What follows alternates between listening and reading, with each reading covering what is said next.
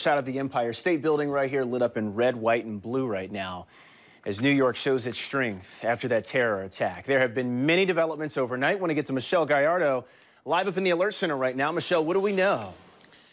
Terrell, we're going to start with the newest information coming in on the terror suspect. We just got new video of the truck the attacker used that has not been moved overnight. The investigators found a handwritten note inside in which officials say 29-year-old Sayfullo Saipov claimed allegiance to ISIS. Now, we also learned that Saipov went through surgery after being shot in the stomach by a responding officer. He is expected to survive and will be questioned as soon as it is possible.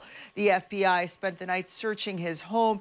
Investigators at this point calling the attack ISIS inspired, saying that while Saipov's name has come up in the past as a possible associate of a suspect, he does not appear to have any direct links to the terrorist organization.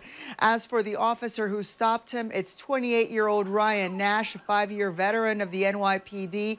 We're also finding out more about the victims. Five of the eight killed Argentinian citizens, a group of friends in New York, simply celebrating a high school reunion.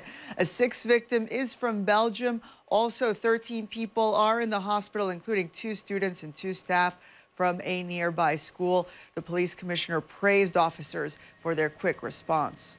I want to commend the response of our NYPD officer that was on post near the location who stopped the carnage moments after it began. Extra security is being put in place in strategic points around New York City as a precaution only. Officials telling us no further credible threat exists against the city at this time. They do believe the attacker acted alone.